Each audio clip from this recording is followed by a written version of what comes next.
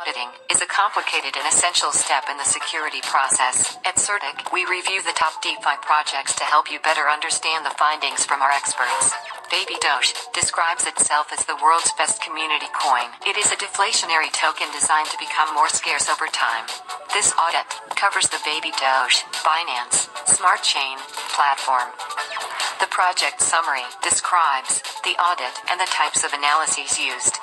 Overview shows the programming language, the blockchain used, and a link to the project's codebase. The vulnerability summary lists issues that need resolution. The audit scope displays which contracts were audited.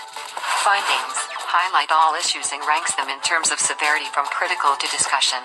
In this audit, we found zero critical, two major, one medium, two minor, and eight informational issues. The Baby Doge team has acknowledged all the issues. Visit CertiK.com for the full report.